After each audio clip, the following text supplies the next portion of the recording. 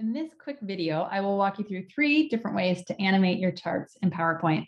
This is going to keep your audience engaged and tuned into the data story you are presenting.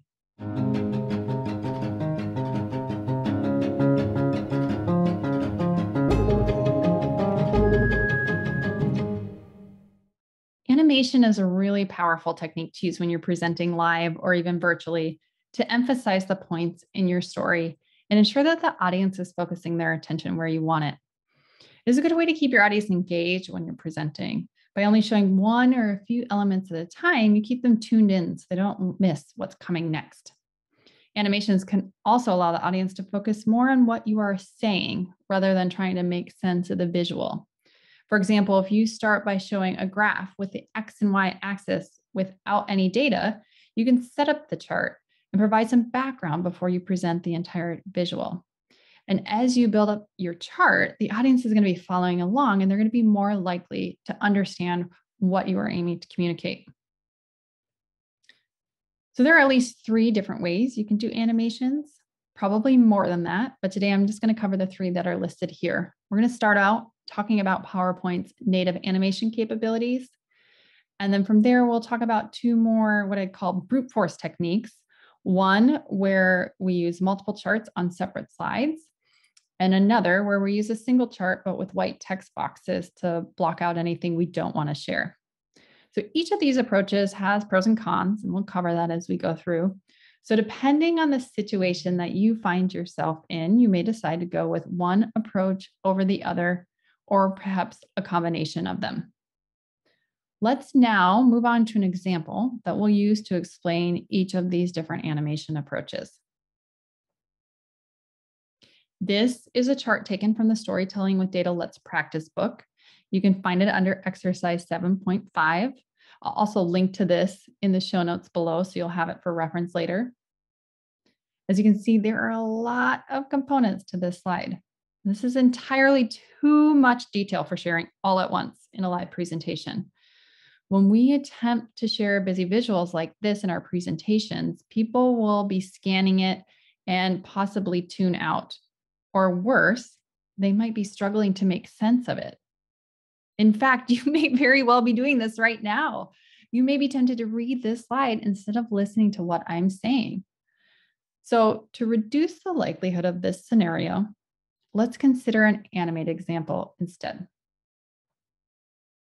Hi, folks. Thanks for joining our meeting today. We're going to be discussing the increasing rates of diabetic patients across our medical centers and decide whether we should consider hiring additional staff to remain within accreditation standards of appropriate care.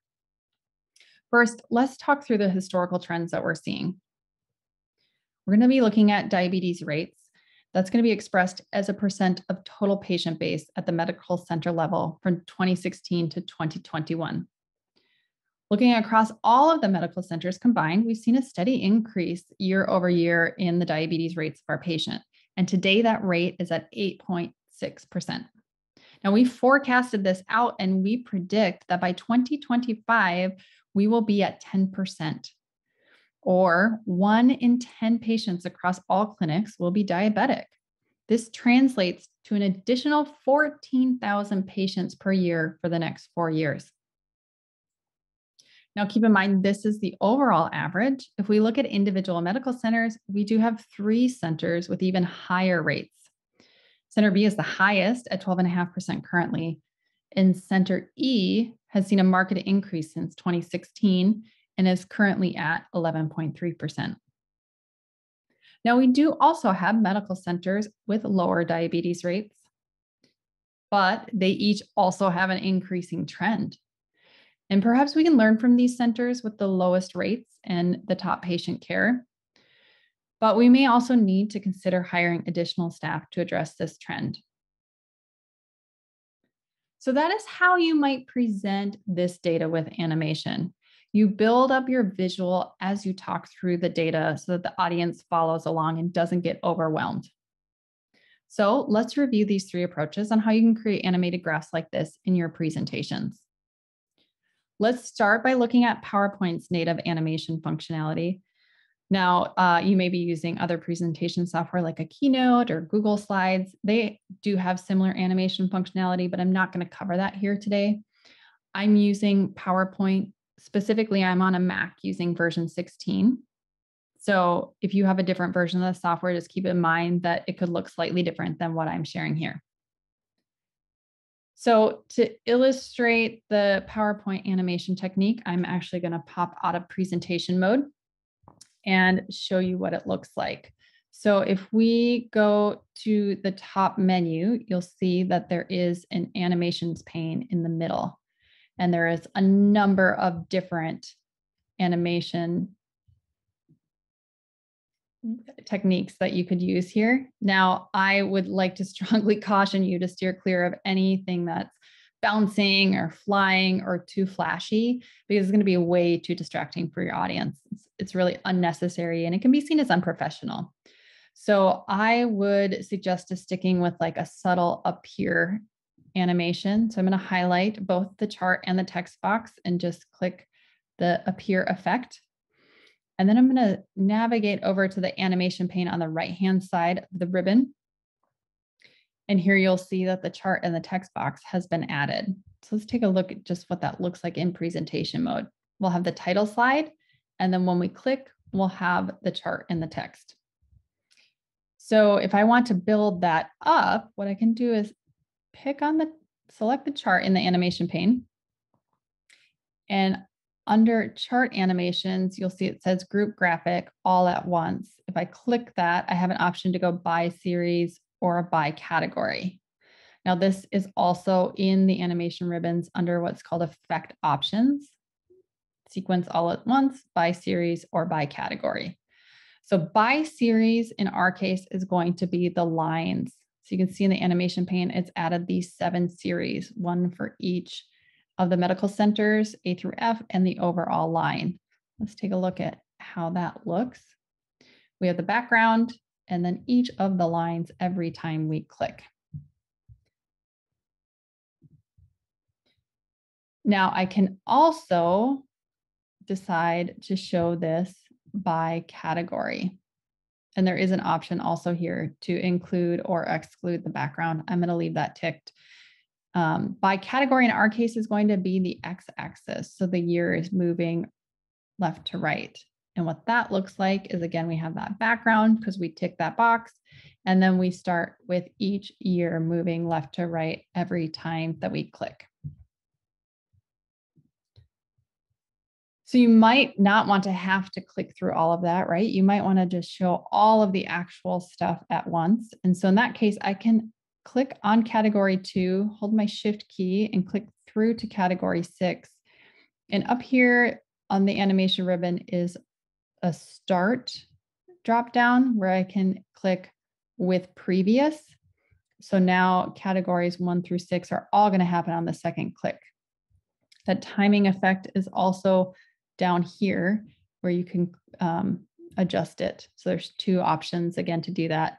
I'm also going to go ahead and take categories eight, nine, and 10, which are, are going to be my forecast years and group those together. So the third, the second, the first click is the background, the second click is all the actuals, and then the third click is the forecast data in the text box.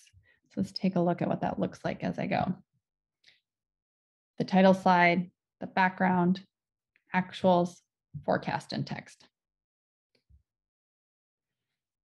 So this can get a little hard and cumbersome if you have a large number of data points and text boxes. So that's why I wanted to share with you another brute force approach. And that's taking multiple charts on separate slides. So as you progress through the slides, you kind of build it up. So this could be really helpful for folks who may review the content not in presentation mode, because if you're just looking at the slides outside of presentation mode, you will miss any animation altogether. So to do this approach, we start at the end and work backwards from the final graph. So here's our final graph. I'm going to right click and duplicate it a couple of times. So I have three versions of the chart. And what you do is you start with the first one and just take away anything that you don't want to include. So here I'm going to right click into the chart and edit the data. And now if I only wanted to show the overall line, for example, I will just delete all the other data and you can see that that deletes from the chart.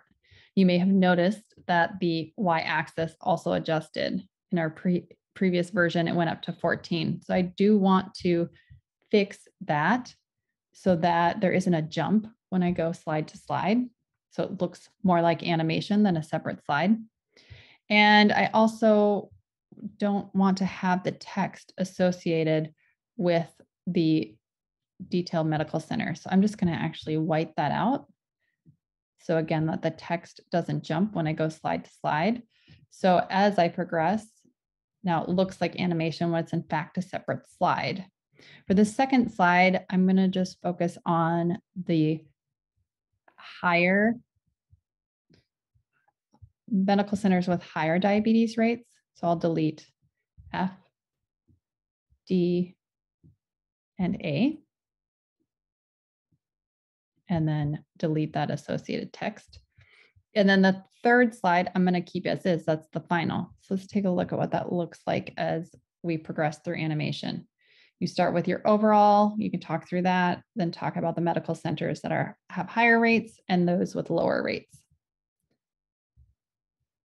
Now, if you don't have a lot of time and patience to create a number of charts and you don't want to monkey with adjusting axes, there's another option you could consider. And that's the third option where we use a single chart and just use white text boxes to cover up anything we don't want to share.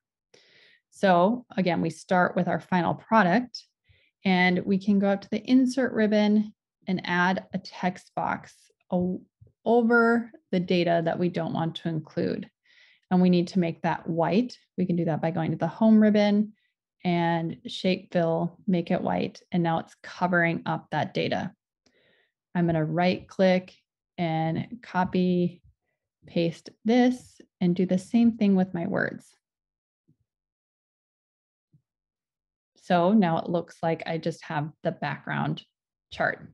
So I can duplicate this slide and then start showing some of the data that I want to present. So if we want to do the overall, I can just adjust this text box. It cuts into the line a little bit. So I'm going to use this little rotating dial to adjust that. I'll copy and paste this to cover up the other items. And then I'm going to adjust the text box just to show the text that I want to present. So I've got four text boxes here covering up the text and the lines that I don't want to share. And then I can duplicate this slide. And then I simply just start deleting the text boxes of the things that I do want to share. So we'll start with the centers that have the higher rate and then duplicate this slide and then remove the last text boxes where I've got the final slide. So here, if we look at this in presentation mode, I've got the background, the overall, the higher rates, and then the lower rates. So it looks very similar to the previous two techniques, but it's a different approach. So there you have three ways to animate your charts when presenting in PowerPoint. Animation is a powerful tool to allow your audience to follow along and focus their attention on the message and takeaway that you're communicating. So we have more additional resources for you at the Storytelling with Data blog and our community site, which has additional ways for you to hone your data visualization and storytelling skills, and also connect you with others. I'll put all this and more in the description box below. If you found this video useful, please consider subscribing to our YouTube channel. And if you have other PowerPoint topics you'd like to see in future videos, please leave us a note in the pinned comment below. Thanks and have a great day.